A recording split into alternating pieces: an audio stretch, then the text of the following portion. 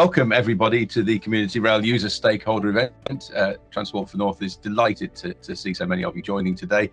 Still slightly difficult times. It's been a, a challenging year, but it, it is uh, great to be looking perhaps more optimistically uh, to the future today. We've got a, a great range of, of, speakers lined up, some key players from Transport for the North themselves. We're also going to be hearing about some successful projects that uh, community rail partnerships uh, around the region have been involved in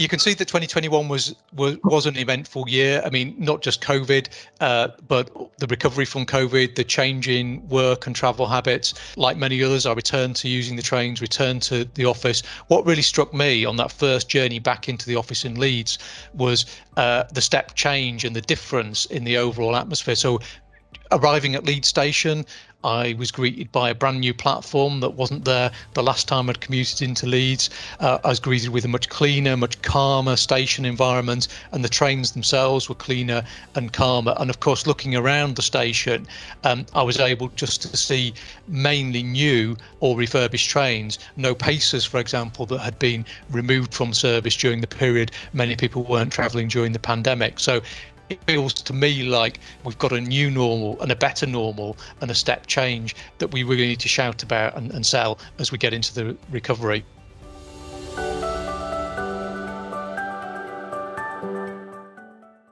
Uh, meanwhile, over to the Tyne Valley Community Rail Partnership and Fiona Forsyth. We were awarded first place in engaging young people in the Community Rail Awards for the project called Backtrack we were asked by Network Rail to run a poster competition to raise awareness of trespass, particularly during the first lockdown when trespass uh, just went off the radar, grew by, by 25%, I seem to remember. Five CRPs came together from all over the country using this technology, using Zooms and Teams, and devised a competition in which we asked young people to make a video, uh, write a song, to get across the message of stay off the tracks. And our rationale was if we asked young people to make that message and share that young that message with other young people on social media, then that was going to be more effective. Last summer, summer 2021, we handed out around 5,000 stay off the track activity sheets. Now, I did try and share that, but I'm not sure whether or not that's actually on the screen at the moment. Um, standing in stations, and handing them out to families and chatting to families about the importance of having that conversation with their young people that taking a shortcut across the track is just not on. So, what were the benefits? Well, we certainly showcased that CRPs can work together from all over the country and create a very successful project. Um, the materials that the young people produced for us, the videos and the songs, have been used with schools, even during lockdown. And it does make the young people turn their heads and look at something that was produced by one of their peers rather than a corporate organisation. Currently, we're planning Backtrack 2022.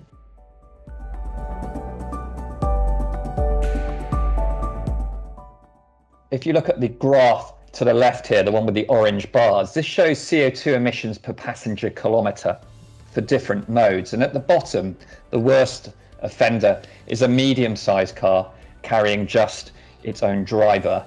Um, and actually, this second row down uh, reflects rail. It's an intercity train, uh, and you can see that uh, the car, uh, the drive, the car driver emits about four times the amount of carbon than the train passenger. So we can see that rail travel and particularly electrified intercity is, is already one of the least carbon intensive ways to travel. It's emissions from our roads that account for over 95%, uh, and that's not including buses or coaches. So, really, road trips, including freight, are, are the key to tackling uh, the decarbonisation of our, our surface transport. And this chart, which uh, reflects National Travel Survey data analysed by Decarbon8, um, shows that, uh, and I'll get a pointer because it might be easier for me to point to these, um, that 28% of all miles travelled, so these are the orange bars in these top three rows, 28% of all miles travelled uh, by all modes, but, but not freight, are on journeys of over 50 miles in length. And that 28% of miles comes from actually less than 2% of trips, which is reflected by the blue bars on the opposite side of the axis. Now, although percentage of miles doesn't exactly equate to percentage of emissions, it's not a bad proxy. So essentially what this graph tells us is that a really significant part of our emissions from surface transport come from very few trips, but they are the longest trips. This shows us that of the miles travelled on those trips over 50 miles in length, 60% were for leisure purposes. So, what does that tell us about the opportunities for rail to help us decarbonise? Well, firstly, the biggest gains by a long way in terms of carbon emissions reductions will come from modal shift to rail rather than decarbonising rail traction. And that's important when we look at opportunity costs. Substituting longer distance trips of 50 miles or over from road to rail rep- represents a really big decarbonisation opportunity, and that tackling the leisure market is key in that. Now, in terms of rail, we know that pre pandemic, over half of all our trips by rail on a whole UK basis were for commuting or business purposes. But actually, how has that profile changed? But if we are seeing a stronger leisure and weekend market comparatively, what opportunities does that present for decarbonisation and how do we take full advantage of them?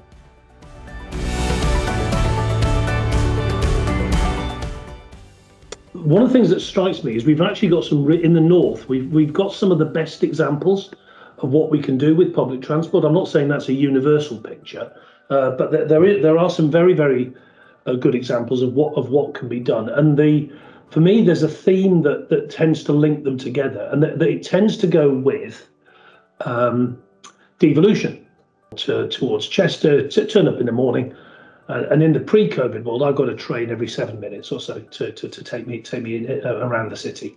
So we, we, we're blessed with a fairly frequent metro style service, but also it it, it, it delivers well uh, against the timetable.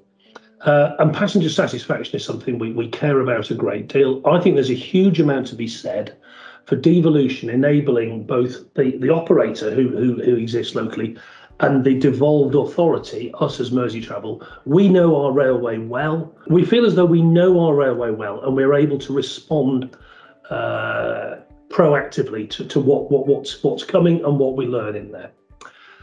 The uh, a really good example of this is is actually the program of work I'm responsible for, which is which is in the round. It's half a billion pounds worth of investment.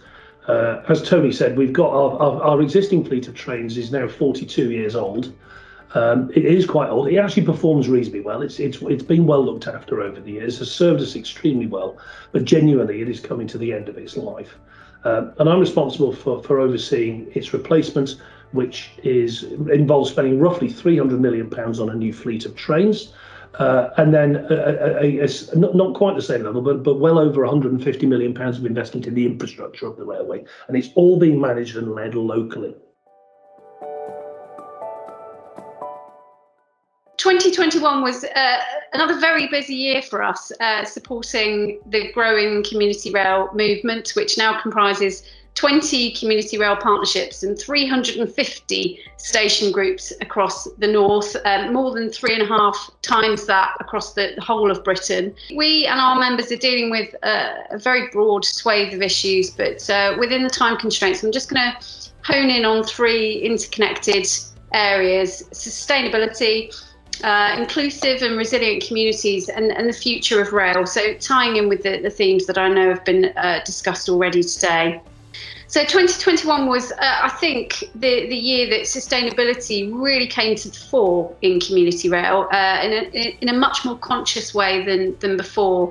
But I think in the past year, we've, we've been working with our members to make these local endeavours uh, more self-aware in terms of how they impact on on the, the big global challenges that we face and and, and how they the, these activities can impact to a greater extent. So we've produced resources, we've run webinars on modal shift, sustainable development, biodiversity, Uh, we've bolstered our links uh, with active and sustainable travel organisations. And we've showed how Community Rail is, is uniquely positioned to be a driving force in achieving the modal shift that, that we urgently need, and, and as, as has been discussed today.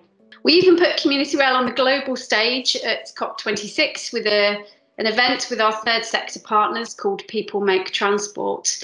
Um, but perhaps most excitingly, we saw uh, scores of community rail partnerships and station groups really embracing uh, the green travel message and promoting that through our first Community Rail Week in October, which included working with partners like TFN and Northern uh, to get the Go Green by Train message out. But while sustainability and uh, the climate emergency have, have, risen up the agenda, we've, we've continued with a, with a strong focus on social inclusion and uh, communities and their resilience and their ability to thrive, um, uh, especially as we've, we've started to really take stock of the effects of the pandemic. So we've provided regular communications and, and positive leadership across our across our members during the, the many ups and downs of the pandemic. We've provided advice on getting in-person activities and rail promotions going again as and when it was appropriate. And we've continually advised rail industry partners and government on the role that community rail can play in recovery and in the future moving towards a more inclusive and accessible and welcoming transport network long term. And we've been really inspired by the way that Community Rail has uh, risen to the challenge, continued to deliver and innovate through through COVID. Uh, uh, finally, I just want to give a, a brief nod, uh, but, but important nod to, to the work that's uh, going on and ramping up uh, towards a transformed railway. We're now striving to make sure that community rail is heard and understood through that process of change uh, and opportunities realised for the, the movement to play that uh, even stronger role in the future. And we recognise that that fundamental point about listening to communities, it's not only important to the future of rail, but the two other themes that I've talked about, uh, supporting and, and enabling a more sustainable and more inclusive uh, future for communities uh, across the north.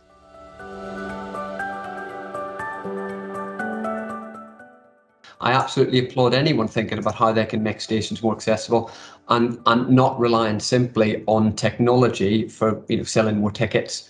And uh, but it has to be the, the staff will need to be trained to do so. And I, I mentioned a minimum standard across all. Well, that I'd, I'd uh, return to that point. And I think it's not just about um, encourage sort of using that angle in terms of encouraging young people to travel but it's also um, to be blunt it's about awareness of rail as an industry and the opportunities there. I've got a three-year-old daughter. We went to see um, grandma and grandpa last weekend and we went by train at her insistence. I love the idea of an under five ticket. I think that's fantastic. I do a lot of work in the, with, with the bus industry and bus operators. Some great examples of how they very much plug into their local communities, and this is what we're talking about, but also the kind of the, the, the, deals and the offers that they do. So it's more than just the bus journey. In my experience, children love travel by trains, and the work community rail partnerships have done with schools is is testament to that.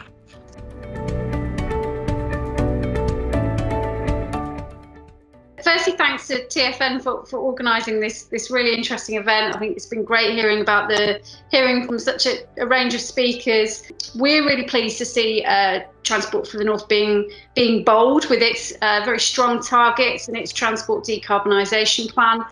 It's a topic we're going to continue to be uh, looking at this year, uh, weaving sustainability in across our work, uh, including our work on, on leisure and tourism, which I know has been been the focus in this in this last section. Um, I've been thinking, I think that the, the, scope for us to be working more closely with organisations like Disability Rights UK. I think this conversation will pick up.